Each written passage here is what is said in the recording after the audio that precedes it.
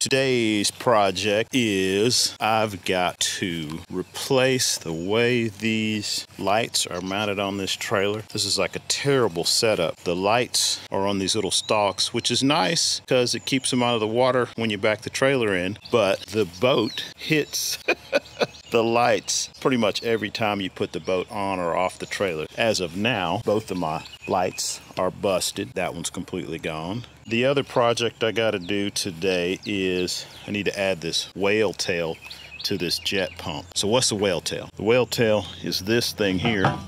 And this fits on the pump right above the foot and that helps prevent the boat from porpoising. So think about it like uh, trim tabs on a flat skiff. Anyway, that's what I'm up to today.